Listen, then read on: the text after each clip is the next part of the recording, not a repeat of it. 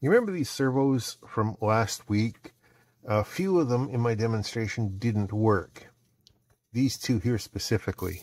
So at the moment, I've got just the basic one servo uh, program running on the Pi Pico, and all three of them are connected in parallel to the same data output, same PWM output. And for some reason, these two aren't working.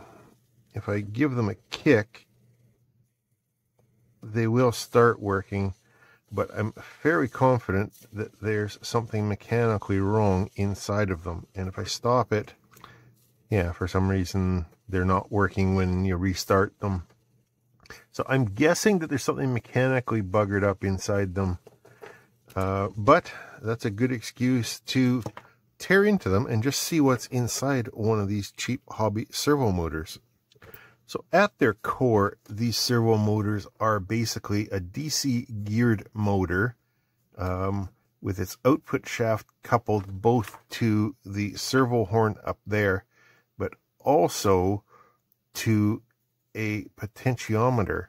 And then the DC input for that motor and the three wires from the potentiometer all go to a little controller board which compares the PWM incoming to the value of that potentiometer and creates an error voltage and then sends that to a motor driver which drives this motor in one direction or another to basically make sure that this pot's position matches the PWM coming in. I was going to finish drawing this out, but it's easier for everybody involved to use somebody else's drawing. So for 50 hertz, which has a 20 millisecond period, um, for zero degree rotation on the servo, it's expecting to see a one millisecond pulse width. For 90 degrees, or right in the middle, it's expecting to see a 1.5 millisecond. And for 180 degrees, it's expecting to see a 2 millisecond uh, pulse width in its square wave. There's a lot of code to do that, as a few people have done a DIY Arduino based version uh, to control motors and stuff, but this is all likely going to have a native chip that just does this and does only this. So inside this little motor, I'm expecting to find a gear motor, and you can actually see the gears up there that drive the servo horn. Expecting to find a potentiometer, and I'm expecting to find a little controller board. Oh, wow. That screw is the full length of the thing. That's different. So I'm also expecting this thing to fall apart in my hand into a million little pieces and not be able to get it back together. But if that doesn't happen, then maybe we can find what the mechanical jamming is inside here and fix it. So I think I see a seam there. Yeah, I do. Okay. So we have the motor with its two wires coming down to the little controller board. We have our three incoming wires going to the controller board. We have a little 8-pin chip and not much else on that board, or at least not on this side of the board. Can we pull the board out by yanking on the wires? No. It's starting to separate up here, though. Gears.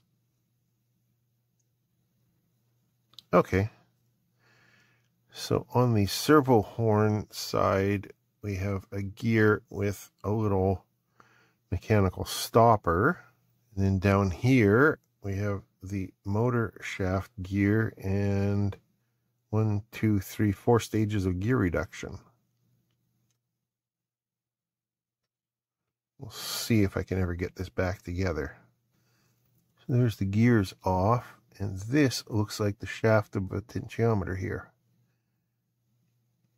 I think. Now, how do we get the rest of this out? There's the motor comes out. Okay. then can I push that through or push it back the other way? I don't know. So I can just barely see the three terminals of the potentiometer. There's one, there's one, There's one over there coming up to the board. Potentiometer is mounted from this side and the board is mounted from that side. So in order to remove the board, I would have to unsolder the potentiometer. But I don't think I need to do that because I don't think there's anything else to see on the back of that board. I think it's just that little 8-pin chip. But maybe I should go deeper. Okay, this is just escalated. I want to see what's under there. Aha! There we go.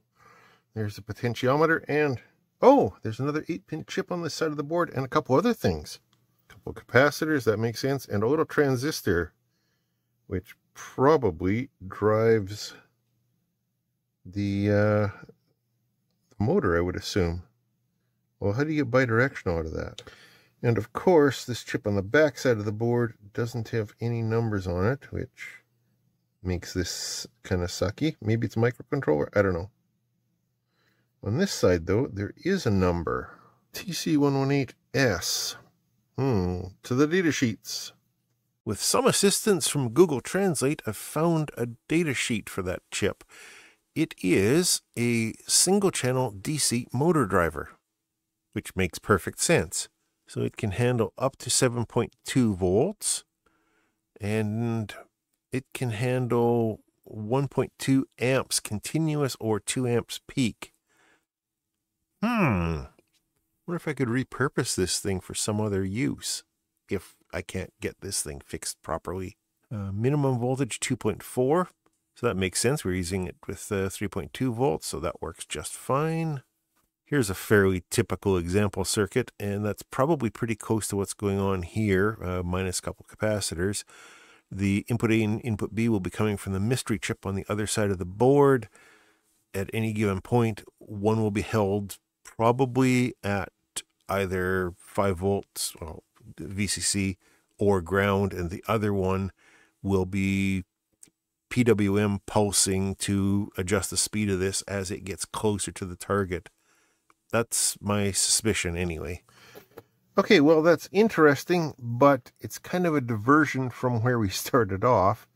So I am going to solder this potentiometer back in, solder the board back in, solder the motor back in, and, uh, well, maybe it'll still work when I'm done with that. We'll see. Okay, I think I've got it back together. Let's just see if it still does anything. Yep,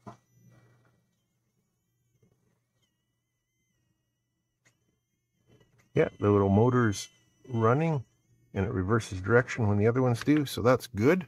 So now I can continue on back to the original problem, which was the mechanical jamming.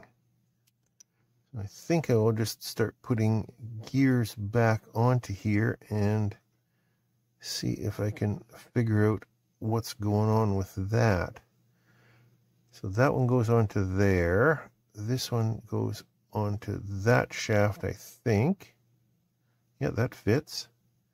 And this one goes on here. And that drives this one. Let's just turn that back on and see what happens. And just to make it a little bit easier, I'm going to mark one tooth on the slowest gear on this thing so that we can actually see it move, I hope.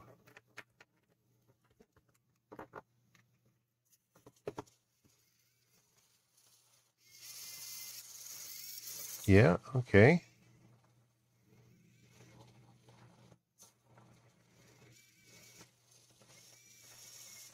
It is kind of binding though. So he's not always running a full tilt boogie. It's occasionally binding and I don't know why. And now that I said that, it stopped. Oh. See that top gear is way out of plane, or is it the middle one? Kind of binding up on each other. That's weird. I mean, they're probably really cheap gears. Maybe I should just look for some mechanical problems there. I wonder if that little molding mark, rejector pin mark, or whatever it is, is catching occasionally. Don't see any flashing or anything weird on the gear. This one's actually got some grease on it. So that's useful, but I don't see anything out of the ordinary on it either. So I am not quite sure what's going on here. I think I might just take my scalpel and just trim that little bit of ejector pin crud off the back of there. But other than that, I don't see any mechanical reason for this thing to not work or to jam like it was. So back together again. And even if I put some mechanical resistance against it, it slows down, but it still goes through its full rotation. So I don't know. Maybe that little bit of flashing on the ejector pin was it. Let's put it back together and see what happens. I just got to get this D shaft here aligned with what's going on up in the top there. There we go. That wasn't quite as ugly as I had thought it would be. Back on again. Uh, oh yeah, there's a notch for the wires. Okay. I don't know if I actually accomplished anything with this other than learning a bit more how these things are put together, but we shall see. There's those long needle-like screws.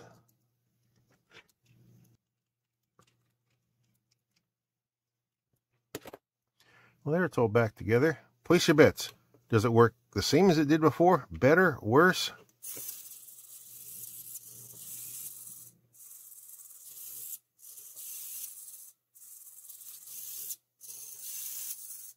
Hmm. That ain't right. That ain't right at all. I think I made it worse. Is it going through 480 degrees at least? Yeah, okay. So why is it jamming and not causing... Did I get the potentiometer not aligned correctly or something? I don't know. Well, it works.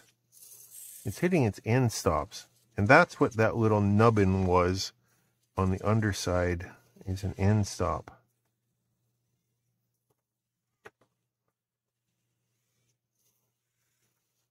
I don't know whether the other one's going to do the same thing, but I think for now, I am just going to,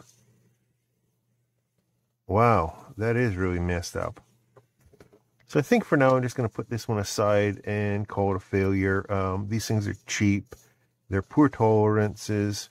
So I think what I will do is set this one aside, as I said, and maybe save it for salvage. I might pull that board out of there again and try it with a slightly bigger motor. That motor driver is capable of driving, what did it say, up to an amp and a half continuous or two amps peak. So that opens up a lot of possibilities for attaching a potentiometer to a much bigger gear motor and seeing if I can do something interesting with it. But I think that is all for right now. Um, I've satisfied my curiosity, although I still don't know why it was jamming. But I can live with that for now because I have more ideas. Thanks for watching. Uh, comments and questions down below as usual. Oh, and because I know somebody's going to ask, I have been drinking Night Owl La Shop Stout from La Shop Brewery, sorry, Brasserie, here in Winnipeg. Yeah, that's the end for real. Uh, thanks for watching. Talk to you later.